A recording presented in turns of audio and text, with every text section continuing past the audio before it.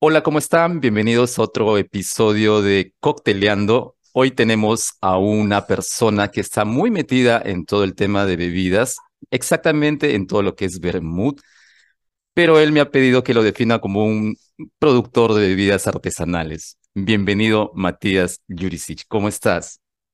Alexander, un gusto saludarte. Encantado de estar acá en, tu espacio. Yo, de verdad, hace tiempo que vengo viendo tus videos y veo que eres un fanático, un apasionado de lo que es exactamente el vermut, pero en realidad tienes mucho conocimiento en las bebidas. Leía algo en tu página que tienes hace ya un poco más de 15 años, calculo, 20 por ahí. Sí, estoy hace 15 años este, vinculado con el, mundillo de, las bebidas. Arranqué primero trabajando en bares, este, en la parte de vendría a ser la parte numérica. Eh, luego pasé a la barra y bueno, después de la barra encontré un producto que me gustaba muchísimo, que era el vermut. En realidad hay, varias bebidas que me gustan mucho, pero particularmente me parece que el vermut en particular en Argentina tiene un, gran apego, eh, está muy difundido, somos grandes consumidores de vermut, pero me daba la impresión de que no había una especialización en ese sentido. Es decir, había dos o tres marcas de vermut y era básicamente lo que se consumía en, su mayoría. Eh, esto es, imaginemos, ¿no? pongámonos en, pie si estamos desde Perú y, hay solamente tres marcas de pisco para todo el país eh, y, el país se vende como pisquero. Eh, me parecía que, faltaba un desarrollo en ese sentido. Bueno, eso fue lo que empecé a trabajar, a, difundir la categoría hace mucho tiempo y bueno, en paralelo también intenté crear mi, propio producto, que tengo la suerte hoy de tener no solo mi producto, sino varios más que, produzco artesanalmente en, mi fábrica. Eh, y bueno, en gran parte es lo que me he dedicado en los últimos tiempos, por eso tal vez cuando se menciona mi nombre, la palabra Bermud viene prácticamente asociada como una especie de apellido sumadito a eso, pero después... Hay un montón de bebidas que me gustan muchísimo, soy muy fanático del mundo del vino, eh, de hecho creo que eh, conozco mucho más de vino que de vermut, pero bueno, no soy conocido por, por, ese tema en particular. Eh, y después, bueno, hay, los destilados en general me, gustan muchísimo. El mundo de la cerveza artesanal me, fascina. El mundo de la cerveza en general, aunque no soy un gran cervecero, consumo muy poca, poca cerveza, pero cuando lo hago me gusta saber qué es lo que estoy consumiendo. y después del resto yo creo que si a alguien le gusta algo en particular, es inevitable que uno empiece a tocar una puertita y decir, che, ¿qué, qué, tal es esto? Eh, tanto sea el, té, el mate, bueno, en el caso de Argentina también es, es, paradójico, somos grandes consumidores de mate, pero no hay una especialización en eso. Recién ahora están apareciendo sommeliers de yerba mate, que me parece que es un gran avance como consumidores y como país. Eh, y bueno, en ese sentido, todo lo que he podido investigar un poquito más, café de especialidad, todo eh, nutre, este, aunque bueno, obviamente yo no soy la voz este, en ese caso del vino, del café, de la yerba mate, pero sí soy un apasionado de, todo eso y lo intento aprender todo lo que más puedo. Sí, se nota en todos los videos que he estado viendo. Los últimos, los últimos, hay uno hace tres videos, los últimos tres videos, por ahí hay uno que es de café, me, parece que es el... Sí, está por ahí. con café. Claro, ¿no? Y no, se nota, Matías, te gusta mucho el tema de, estar en las bebidas, se, nota en, el reflejado en todos los videos que haces. He estado leyendo un poquito también tú, tú tienes una página, una página web en donde muestras tus, un poco de tu biografía. ¿Puedo leerla, por favor? Adelante. Eh, dice Matías, nací en Sarasa, Amor Rosario, y fantaseo con Córdoba. Explícanos esa frase y vamos a ir desglosando este pedazo de tu biografía que, me, que me, gusta. Lo desglosamos de esta manera. Para conocerte un poco más, ¿no? Porque todos vemos a, Matías siempre dando mucha información buenísima realmente y vamos a conocer hoy día un poco a, la persona que está detrás de las cámaras a la persona. Bueno, te cuento, yo nací en Sarasa, que es una pequeña localidad, por eso siempre hago la referencia de cuáles son mis orígenes.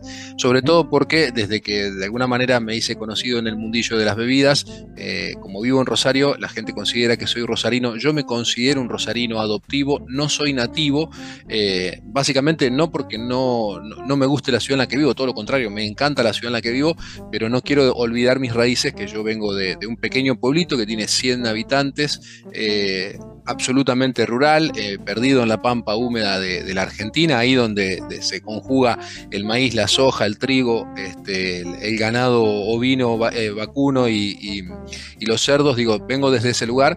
Y después Córdoba, fantaseo, es un pequeño chiste porque mi esposa es de Córdoba, de la provincia de Córdoba, más puntualmente de la ciudad de Córdoba, y siempre me gustó lo que la manera en que vive el cordobés me parece que es, lo puedo definir de esta manera, que tal vez se pueda entender más hacia Sudamérica.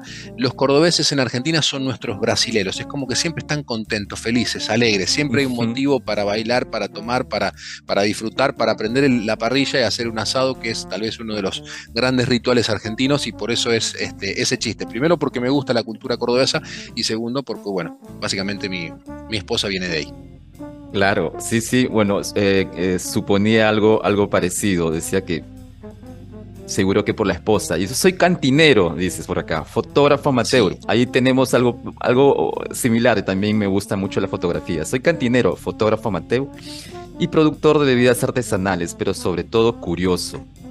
Prácticamente todo lo que tú has hecho en tu vida, en toda esta trayectoria que has tenido, has sido empíricamente y por tu cuenta has sido un autodidacta, aparte de haberte ido a cursos y aprender, me imagino.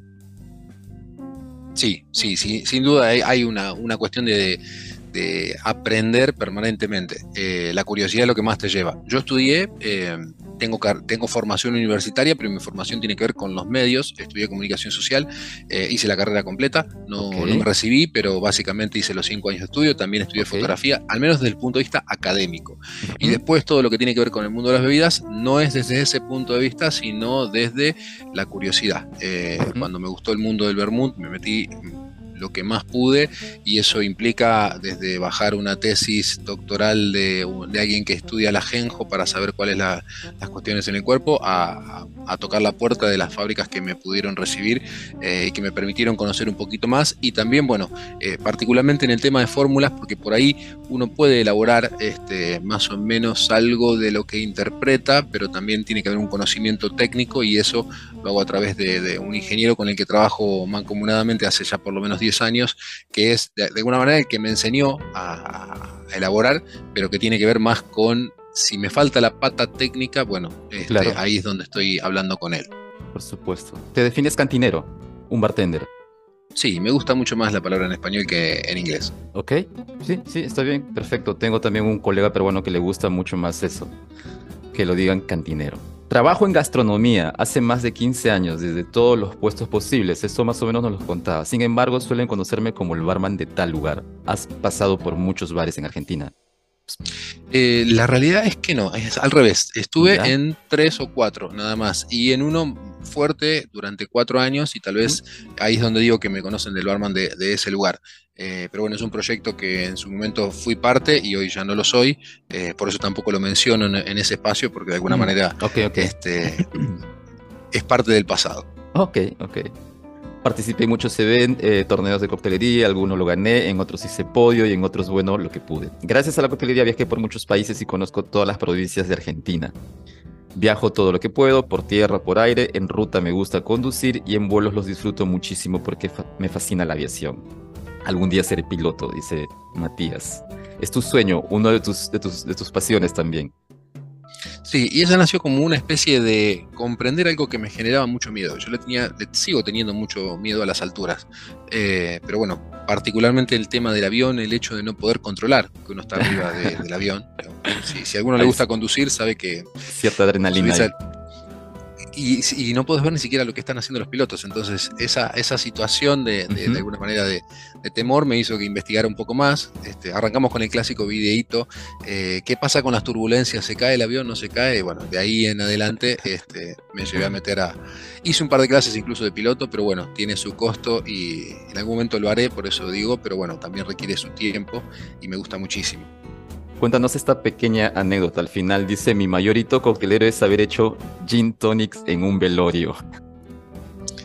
Sí, yo creo que es una, parte que es bastante graciosa eh, de alguna manera contar. Lo que hay que rescatar de esa situación es que la persona que había fallecido era una abuelita muy mayor, ya superado los 90 años, entonces de alguna manera el proceso de, desapego de los familiares no era tan eh, caótico o tan sufrido, porque bueno, ya venía, primero que había vivido una muy buena vida, segundo, este, había estado los últimos seis meses con una enfermedad eh, terminal, entonces de alguna manera era como... Este, no sé si se puede decir que es una bendición en ese caso, pero bueno, de alguna manera no tenía tanto eh, sufrimiento esa situación.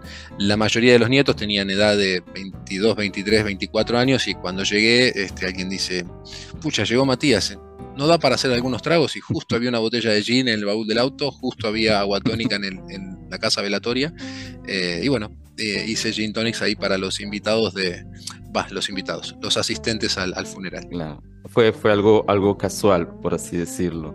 Sí, completamente, no fue organizado. no, no, sé si sería algo que uno se organizaría, ¿no? Pero justo eso fue espontáneo y se dio. Claro.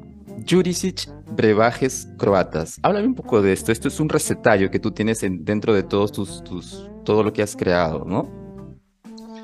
Ahí son eh, varias recetas de licores de estilo croata. Mi apellido tiene origen eh, balcánico. Eh, el ich significa hijo de, digamos, en tierras croatas. mi viejo es tercera generación. Mi bisabuelo vino de tierras croatas, escapando de una, de una gran hambruna que hubo a finales del siglo XIX. Eh, llegaron a Argentina, construyeron su, vida acá y de alguna manera yo quise interpretar o, entender que era parte de esa sangre que corría por mis venas que no sabía.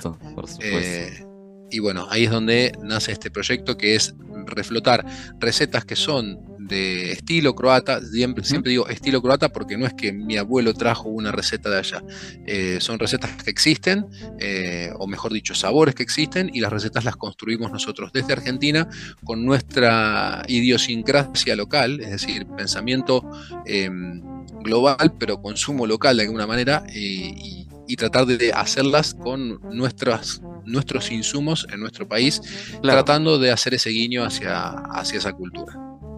Claro, prácticamente todo lo que viene de, eh, lo que tenemos en realidad es, viene, viene de la antigua Europa, pues, ¿no? Hasta América misma está lleno de, personas que han venido de, del otro lado del charco, así que todo el conocimiento que se puede rescatar y con las materias primas que se tiene por acá, pues, creas productos nuevos, de hecho que sí. Ah, antiguo establecimiento El Matrero, dice, el proyecto raíz que crea mi universo de vidas artesanales. ¿Qué es esto, Matías? Cuéntanos. Eh, justamente esa es la fábrica que te mencionaba al principio. Es un proyecto que, en algún momento soñé y que hoy es, realidad. Eh, lo llevo adelante con Jorgito Echeveste, que seguramente si estás scrolleando la página vas a ver una foto de una persona más conmigo y él es, mi socio. Fue de alguna manera la persona que creyó que eh, esto podía ser real y, se sumó prácticamente así, es decir, bueno, yo te acompaño en ese proyecto y con él construimos un, una estructura que hoy permite elaborar las, las bebidas que tenemos en nuestra sociedad y otras que elaboro, digamos, a nivel personal, eh, que justamente, por ejemplo, las, las, los brebajes Jurisic, los, son elaborados en la misma fábrica, eh, aunque no pertenecen, digamos, a la misma sociedad, pero sí lo podemos elaborar ahí y eso es eh, hoy antiguo establecimiento material, un espacio, una fábrica real, tangible, que uno este, tiene todo ahí habilitado para poder elaborar bebidas.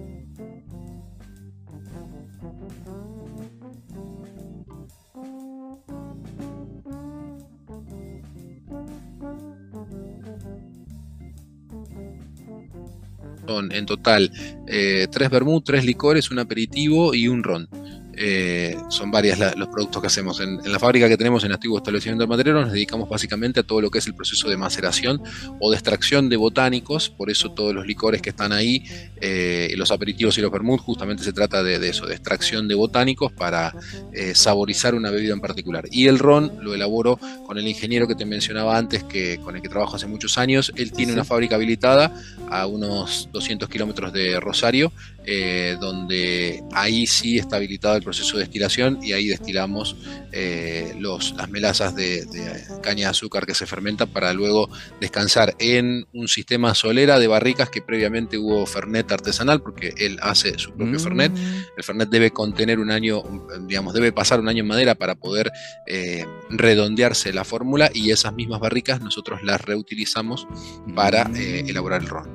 Este va a ser, este ron va a tener un sabor totalmente distinto porque la gran mayoría son no, no tienen ese detalle, tienen el del vermut que es más, más suave. Este va a ser un poquito más medio amargón, me imagino este, este roncito. No, hay notas amargas, eh, sí hay una complejidad de, aromas herbáceos o tal vez especiados que están bastante presentes. Eh, me refería a amargo porque, claro, sí, me imagino que sí, pero me, lo decía por amargo porque estamos acostumbrados a decirle al Fernet que es un amargo, pues, ¿no? O sea, me refería sí, a eso. Sí, sí, lo, pero, es claramente, pero no se traslada al, ah, en el proceso del ron. Ah, exacto, ¿no? Me imagino que saldrá con mucho más, más herbáceos, como dices tú. Sí, de hecho hay como ciertas notas que se levantan poco más vinculados hacia el cacao, la cascarilla de cacao, que tal vez son aromas típicos de, un ron, eh, pero ahí se se pega muy directo con eh, un anís, con una nota regaliz, que por ahí son este, botánicos que están dentro de la, fórmula del Fernet, eh, entonces le da cierta, cierta complejidad y cierto diferencial, porque justamente de alguna manera es lo que buscamos, darle un producto que, si bien todos podemos conocer, es un ron, pero con esa notita que tiene esa particularidad. Claro. Y el último, tienes un posimario, por no decir un poemario, pero tienes acá dice poesimario, bebestibles y comestibles. Productos pensados para una alimentación consciente. Cuéntanos un poquito. Es un proyecto que lo lleva adelante este, Gise, mi esposa, que está vinculado con, las nuevas tendencias de consumo, sobre todo este, de quitar un poquito los azúcares refinados de las, de las, eh, de las recetas y también ofrecer alternativas que sean saludables por un lado, y en realidad no, usamos la palabra saludable, sino de eh, consumo consciente, es saber qué es lo que estamos incorporando en el cuerpo, tanto sea en comidas como en bebidas, este, y particularmente ahí es donde nacen también dos proyectos más, que son dos vermuts eh, que tienen eh, endulzantes alternativos, usamos, usamos stevia y xilitol, y bueno, apuntamos a tener un producto que también sea apto a más paladares, con recetas que son este, ancestrales, pero con pensamiento actual, tratándolo de llevar a la mejor expresión posible, sin tratando de que sea también la menor intervención, más allá de que la extracción de los botánicos es una intervención, entonces dentro de eso lo más natural posible. Claro, sin nada de agregados, es lo que logro entender, nada de aditivos, agregados, lo más, lo más natural posible. Exacto. Entonces hemos visto acá prácticamente tus proyectos, hemos conversado un poquito de ti y hablabas de tu esposa, quieres mandarle un saludo, veo que estás felizmente casado, así que aprovecha de repente. Yo te veo muy apasionado porque hay muchas cosas que has, hecho con ellas y algunas las mencionas acá indirectamente, claro. Así que el espacio es tuyo por las últimas palabras y también para tu esposa. por supuesto que sí. De hecho, está acá al lado mío. No sé si se animará tal vez a, salir. Me, hace con la cabeza que no. Eh, encaramos muchos proyectos en conjunto. La, única diferencia que tenemos en este caso es que eh, el que tiene la cara dura para salir delante de la tele soy yo y bueno, ella está siempre detrás. Ella es, la, ella es la productora, como en todos tus videos yo veía una, una serie, recuerdo Colombo en Italia, así rápido, y recuerdo que este, este, este señor siempre mencionaba a su esposa, pero la esposa nunca salía en todos sus, el episodio, y me hace recordar, a veces cuando te veo, me hace recordar, esa es la productora, dice. De alguna manera sí, sí, es así. Eh, logramos ahora eh, convencerla de tomar una foto para, en realidad de publicarlo en el canal, porque la verdad que sus perfiles son, son públicos, son abiertos, no, no están cerrados, no es que hay una, un hermetismo completo en esa situación, sí, tal vez en los videos, eh, ella entiende que por ahí un poco la, visibilidad, lo que tiene YouTube es un alcance maravilloso y ese alcance maravilloso también a veces está como enganchadito con ese esa persona que son los famosos haters, esas personas que de alguna manera, este, no sé si no valoran el trabajo que por ahí se, hace del otro lado de la cámara o que las redes sociales tienen esa, esa cuestión de que desde prácticamente el anonimato, si no te gustó algo, podés este, insultar. son cosas que por ahí eh, cuidas mucho cuidar, sí. Este, y bueno, de hecho, gran parte de sus comentarios tienen que ver con eso, eh, tratando de, esquivar esas, esas balas, porque realmente nosotros lo que queremos es, es, difundir, planteamos un proyecto a largo plazo, así como es eh, nuestro, nuestra idea de vida, de alguna forma, este, caminar juntos a la par hasta ser muy viejitos.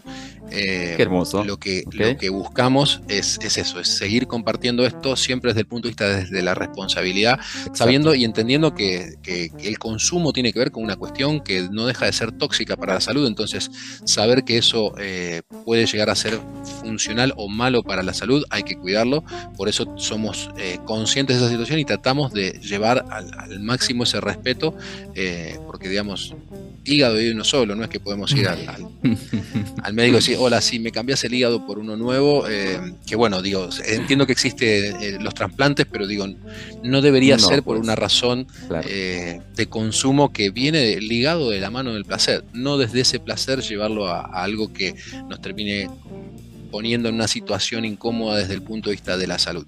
Eh, por eso, bueno, siempre la mayoría de sus comentarios tienen que ver con, eso, esa, esa guía, eh, que prácticamente todos los videos los, trabajamos en conjunto, nos sentamos, lo preparamos previamente, eh, entramos en discusión. Hay muchas veces en las que no coincidimos las, en, los puntos de vista, pero tratamos de consensuar donde el punto siempre es el mismo. Tratamos de difundir valorizando el trabajo de otros o nuestro trabajo sin ofender o sin hacer una crítica por una crítica misma. Eh, yo no soy partidario de que hay críticas que son eh, constructivas. La crítica es crítica y punto. es constructiva si yo te pido que me des tu opinión. En ese sentido, sí, porque si, ahí estoy abierto, soy, perceptivo a, esa, debate. Claro, eh, si no, digamos, la crítica, el que, viene y te dice, ah, no, te lo digo mm. por, por tu bien. ¿Y mm. cuál es el, cuál es el bien? Eh, me interesa tu opinión en ese sentido, por eso siempre valoramos mucho la gente que comenta eh, y nos, nos, aporta algo. Ahora subimos algo sobre una receta del Cuba Libre y hubo personas que se tomaron el trabajo de explicarme la diferencia entre lo que es un clorhidrato de cocaína y de lo que es el, alcaloide de la, cocaína. Y esos comentarios a mí me fascinan, me encantan. Me, tomo el trabajo de responderlos uno por uno. Eh, todas las mañanas me tomo 20 minutos para leer los comentarios que hay, responder a, cada uno, agradecerles que pasaron y esos comentarios me, llevan a, nuevos linkeos a decir qué quiero aprender más de esto y realmente eso es lo que, lo que está también interesante desde el punto de vista de, del canal. Y bueno, volviendo por ahí un poco a la, primera pregunta original que me habías dicho de, de, mi, compañera de vida, realmente es eso, nos elegimos mutuamente, queremos caminar este, y me parece que es la parte más linda de, de la vida. Detrás de un gran video que, de todos los videos que tiene Matías, hay una gran mujer, vamos a resumirlo así me, gusta ponernos al, a la par, no, ninguno está detrás, este, pero bueno, en ese caso eh, no, por el dicho que, cámara. Por el dicho que, hay, ¿no? Claro, claro. Qué bueno, Matías, de verdad estoy muy, muy agradecido que hayas estado en, este episodio. Espero que no sea el único porque para charlar me doy cuenta que hay un montón. La parte del ser youtuber, tu canal y todo eso, por ejemplo, no le hemos tocado para nada. Aún así, algo pequeño, más hemos estado hablando de lo que es bebidas. Tal vez en otra oportunidad lo, conversemos más adelante, en otra oportunidad.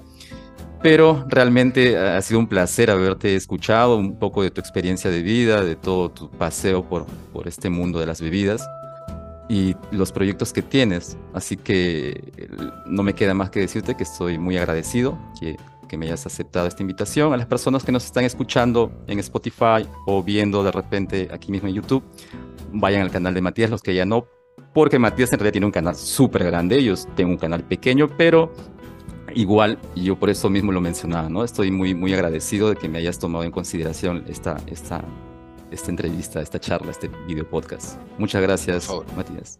Tus últimas palabras es un placer poder estar compartiendo este, contigo en, este lugar. No conozco tu ciudad, la verdad que eh, conozco bastante Perú, de hecho es el país al que más tuve el privilegio de, haber visitado, pero ah, queda pendiente en algún viaje poder hacer alguna visita a la zona amazónica de Perú, porque realmente la, maravilla de, productos que tienen hace que...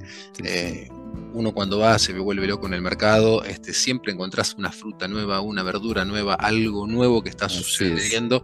Eh, y bueno, la verdad que es, un placer y siempre que se puede aportar eh, y colaborar con que otro pueda hacer un crecimiento y llevar a, más personas la palabra del, consumo responsable, del disfrute este, responsable en ese sentido, siempre estamos dispuestos a hacerlo. Desde ya, muchas gracias por el espacio.